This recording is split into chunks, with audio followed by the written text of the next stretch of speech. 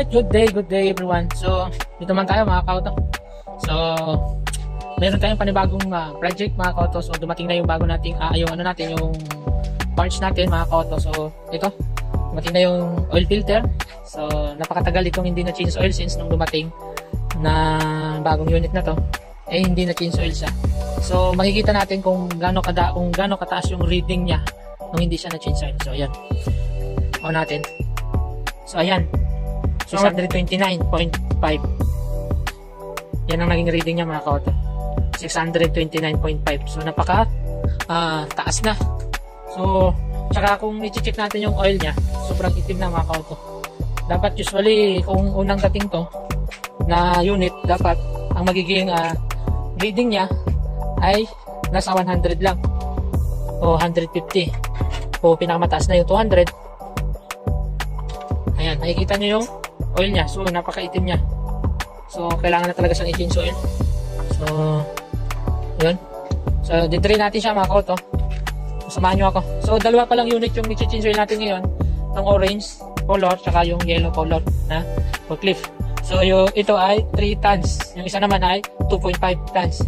So so yun. Uh, first step natin gin ginawa pag change oil ay tinanggal natin yung uh, engine cap tsaka tinanggal din natin yung dipstick tapos itong uh, air cleaner tanggalin din natin. So talagang sobrang alikabok. Di man lang nalilinis ng mga operator. So sabay na rin natin itong linisan sir. So ayan so, yung oil filter air cleaner nya so napaka alikabok. So lilinisan natin to uh, ano, buga natin ng hangin. So ayan tinanggalan natin yung air cleaner. Tapos sa uh, buksan na natin yung drain plug sa ilalim So, suotin na natin. Pakita ko sa inyo yung uh, drain plug niya kung anong size ang drain plug. So, ayan yung drain plug niya mga kaoto. So, napalaki ng drain plug. So, size niya ay 24. So, 24 yung drain plug niya. So, ayan, drain natin to. Tapos, uh, medyo maliit yung ating pangsahod. Ah, siguro, uh, pakunti-kunti lang. Kasi napakaliit to pansahod natin. Hindi wala tayong malaking ano. Oh sandi lang oh yan ano natin, natin. so ayan. So samahan nyo ako mamaya uh, ulit mga kauto kapag uh, na-drain ko na to uh, wala kasi magbibideo sa akin kaya. So ganito yung mangyayari. Uh, update update lang mga kauto so ayan. Dito, dito lang muna mga kauto bye bye so ayun na mga kauto uh, drain na natin. Ayan o oh. nag-drain na siya. Ayan. So hindi lang natin tinanggal lang diretso kasi uh, baka mapuno yung uh, uh, ating, pang, ating sauran. Uh, pag mapuno yan eh nahirapan tayo na magkalat dito sa ilalim ng ating ginagawan. So magiging madumi na yung lugar na yung space natin. So ayan ganyan lang muna siya. So update ko kayo ulit mamaya mga kauto pag uh, uh, okay na to. At na uh, salina na natin ng bagong uh, engine oil. So ayun mga kauto bye bye muna. Bye bye alright mga kauto so ayan uh, tanggalin natin yung oil filter. Yung oil oil filter na. So original niya ay si JX85100C so tapos yung kanyang bago ay JX0810Y so yung mga bagong dating na oil filter so para sa to para to sa mga dump truck lang. Pang dump truck to malaki masyado. Tapos ito maliit. Fuel naman. So ito yung nagtugma kaparehas noong kanyang uh, uh, Excel truck namin. So, ayun. So, palitan na natin. So, ayun, parehas yan. So, ayan. So, ayan. So, sinukat ko siya parehas. Parehas naman. Ayan o, parehas. So, ikabit na natin. Ikabit na natin dito sa ilalim. So, ayan. Ito yung oil filter. Ayan dito yung oil filter. Ayan. So dito natin ilagay.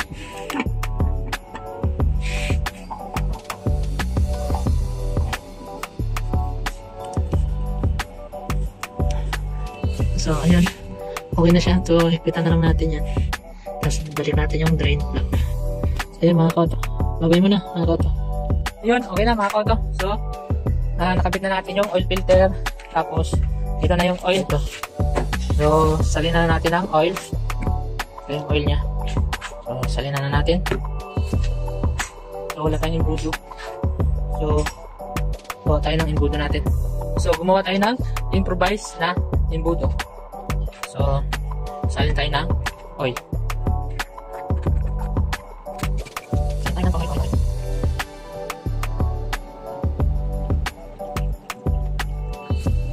Tayo ng mga ah, lima. Lima.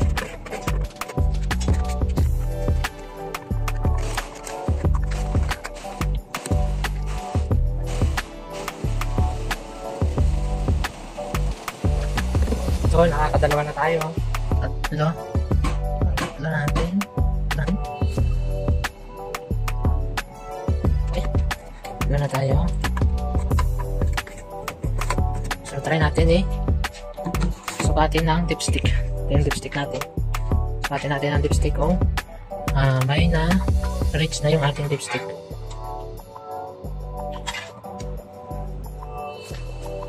So, wala pa. So, lagay pa tayo ng isa pa. So, pang-apat.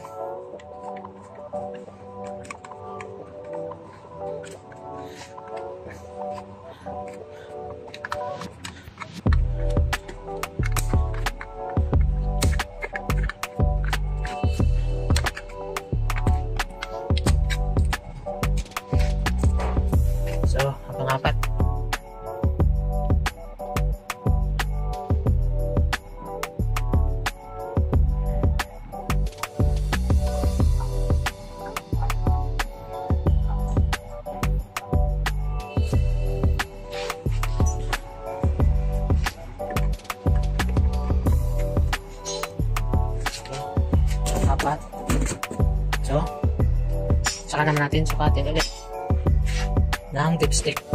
Kung may na-reach na yung dipstick natin sa strainer. So, ayun. Mayroon na siyang na-reach. So, kalahati pa lang. So, maglagay pa tayo ng isang ah, oil. So, ito ang pang lima. So, lalagay na natin apat. Apat na yung lalagay natin pang lima naman.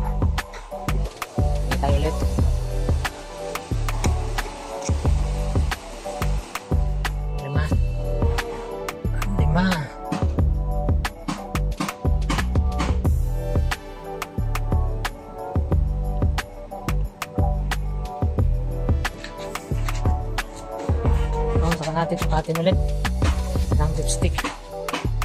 So, sukatin natin ulit ng dipstick.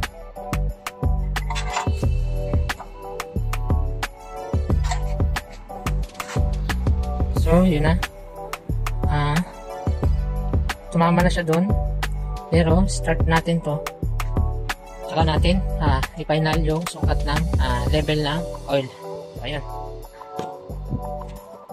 So, ayun, okay na mga koto. So, ah, nahanginan na rin, na, naharing, nahanginan na rin natin yung air cleaner. So, nalinis na natin yan. Nabalik na rin natin sa kanyang ah, housing. So, ayun. So, tapos, ah, na-level na rin natin yung oil. Start na lang natin para ma-final natin yung reading sa level ng kanyang oil. Ayun. Start natin. On. Tapos, start. So, ayan na. So, na-start na natin.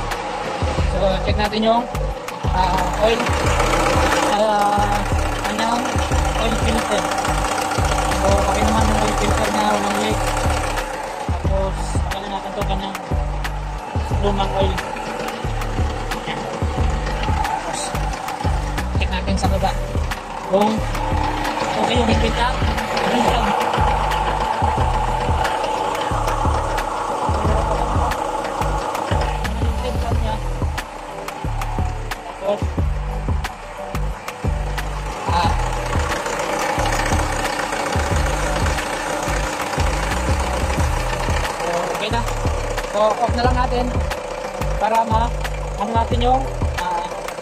Oil. So, ayan, off na natin. Tapos, check naman natin yung level ng oil. Ayan. Check natin.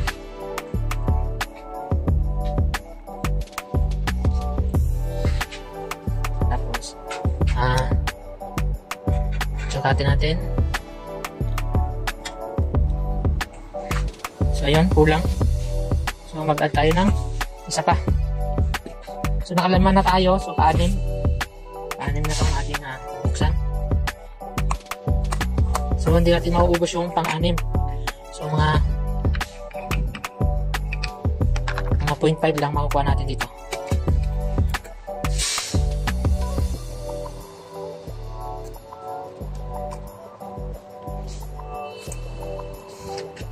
So, ayan.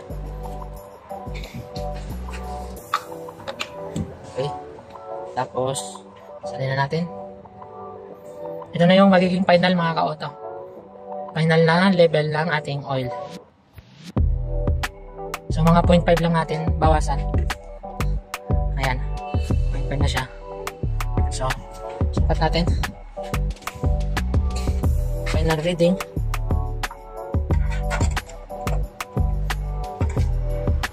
So, ayan. So, kulang pa. Mga 0.5 pa ulit. Mapa tayo ng 0.5.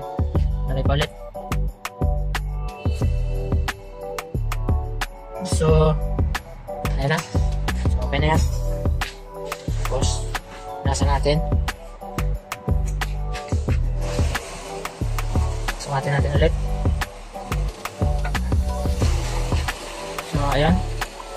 So, magandang pagsukat dito mga koto ay ah, ah, morning time. Kasi makikita mo yung kanya level. So, ayan. Pa. Ayan. So, konting-konti na lang mga koto. Kita ba? Konting-konti na lang.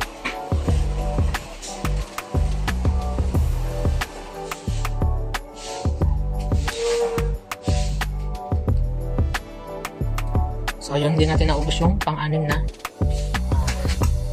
langis.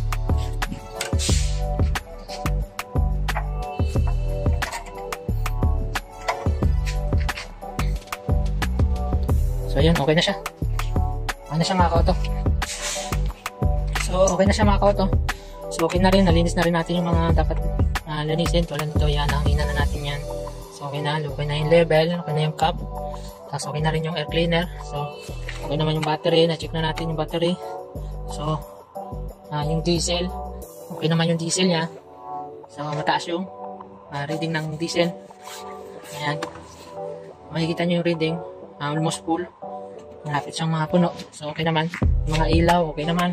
Check na natin yung mga ilaw. So, ayan mga kauto. So, uh, tapos na yung ating uh, pag-chinsel dito sa orange. So, next naman natin yung yellow. Yellow color na forklift. So, ayun mga kauto.